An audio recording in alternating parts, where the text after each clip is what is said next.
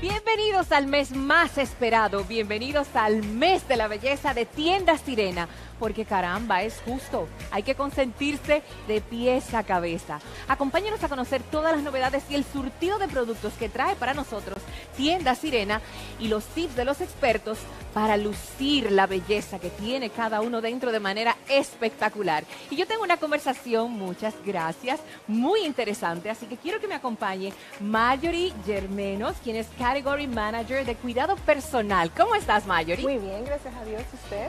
Muy bien, gracias a Dios. Feliz de formar parte de este mes de la belleza de Tienda Sirena. ¿Qué nos trae este mes de la belleza de Tienda Sirena? Este mes estamos teniendo muchas novedades para el área de cuidado capilar, cuidado personal en general, para que las personas se puedan mimar su piel, cuidarse, tanto para hombres como para mujeres, claro está, y también vamos a tener para el área de niños.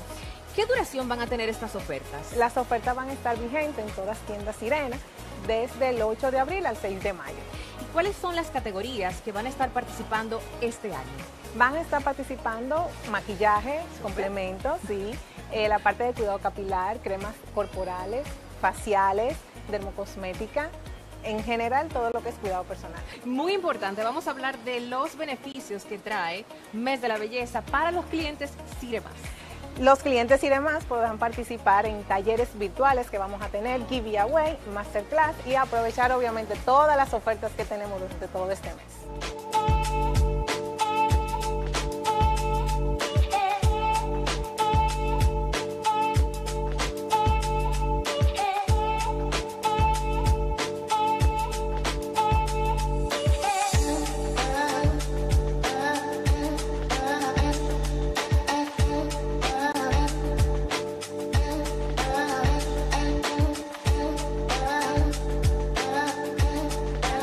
Manténgase atento a todas las publicaciones porque a través de nuestras redes van a saber las ofertas, las promociones y todas las actividades virtuales que tenemos este año como innovación de nuestro mes de la belleza.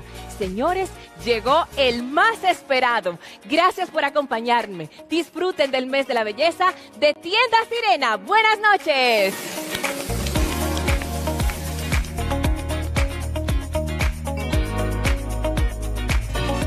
Qué bueno que estén con nosotros en fiestas y personalidades. Muchísimas gracias a los que nos siguen en las redes sociales. Entran a nuestra página web www.fiestasypersonalidades.com. Por supuesto, a quienes nos sintonizan cada domingo a las 7 de la noche aquí, Canal 4 RD, a las 9 Canal 8, Mia Visión de Puerto Plata y UnicRadio.net, radio y televisión, señores personalidades en estos 16 años definitivamente estamos fortalecidos. Ahí sí. Este es el mes aniversario de nosotros, señores, los muchachos que tenemos unos mesecitos aquí en el canal. Pues sí, 16 años ya de televisión de calidad. Y ahora aquí, televisión de todos. Tenía que decir muchas cosas, vamos a ver, para que Dayana no me jale los cabellos. Tengo estos regalitos aquí que ustedes dirán, ay, qué regalito para la periodista. El día 5 fue el día del periodista. Nosotros recibimos varios regalitos. Aquí es la gente del grupo Ramos, La Sirena, Alina Abreu también nos mandó un detalle. El Ministerio de Industria y Comercio y MIPIMES nos mandó eh, también un detalle.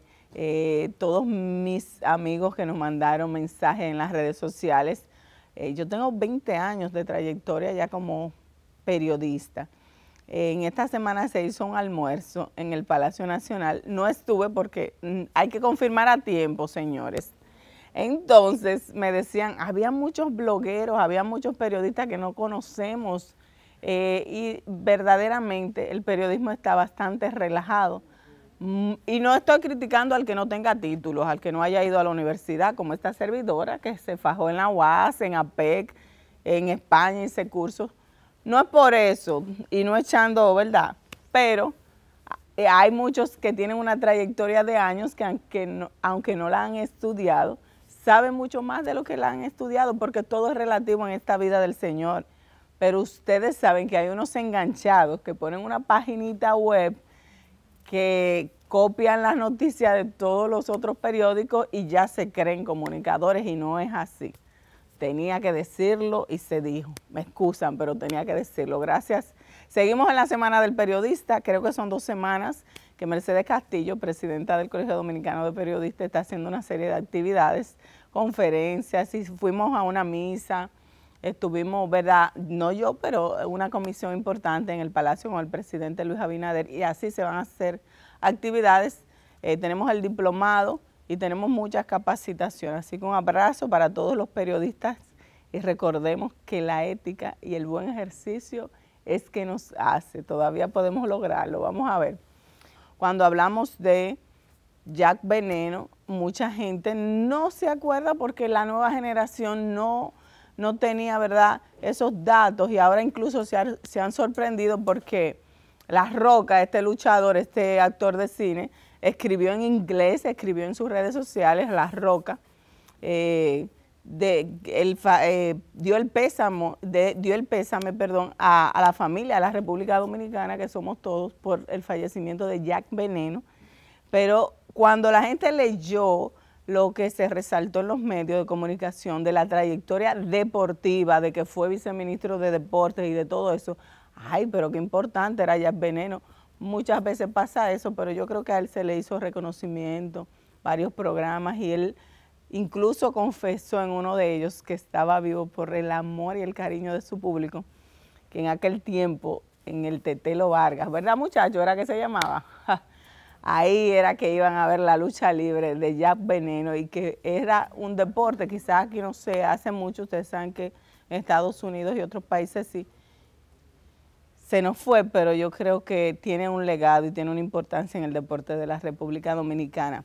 Señores, muchos cine, viene por ahí mucho cine, eh, se habla de, algunos, de algunas piraterías, van a suceder muchísimas cosas. Después de esta pandemia vamos a encontrar cualquier cosa, pero el arte y la cultura debe surgir de nuevo.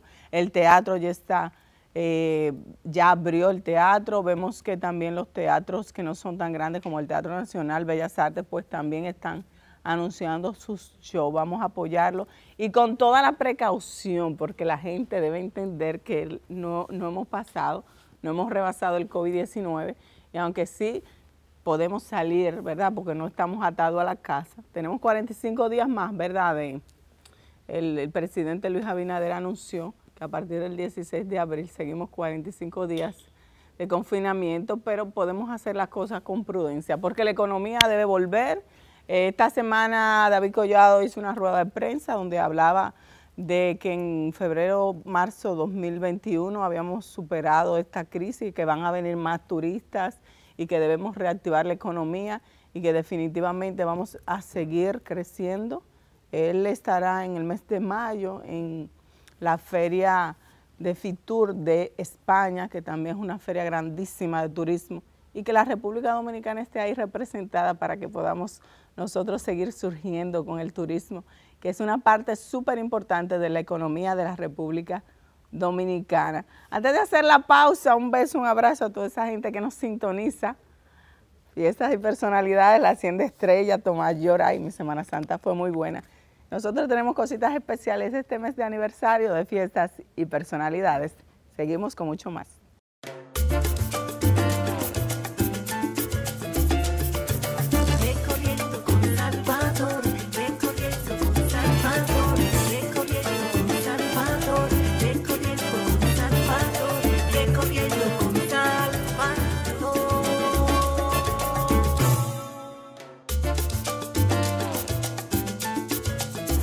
Saludos y bienvenidos y en esta ocasión viajé a Dubái y a Bahamas para ver qué une estos dos destinos en términos turísticos a través de esta nueva entrega de Recorriendo con Salvador. Atlantis Bahama y Atlantis Dubai son dos complejos hoteleros de fama mundial. Cada uno posee cinco estrellas debido a sus excelentes servicios y sobre todo a sus instalaciones. Atlantis Paradise se inauguró en el 1998 y el mismo hotel, pero en Dubai, se abrió al público en el 2008. El concepto es casi igual, pero debido a las condiciones de ubicación tienden a diferenciarse en algunas cosas. El Atlantis Bahamas posee hermosas playas en sus alrededores con vista al Caribe, mientras que el de Dubai presenta una hermosa playa artificial, difícil de creer cuando la ves.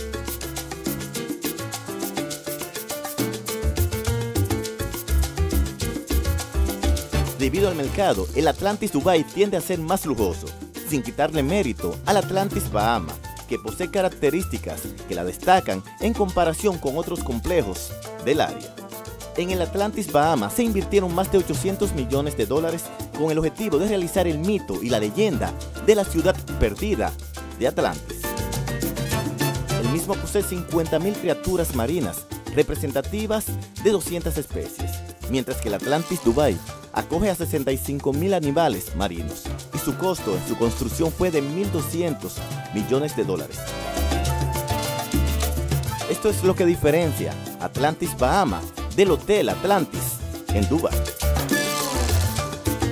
Luego de conocer este hermoso hotel que es Atlantis aquí en Dubai, nos despedimos de este recorrido por el día de hoy. No dejen de seguirme a través de las redes sociales y recuerden que dentro o fuera del país siempre habrá un recorriendo con Salvador.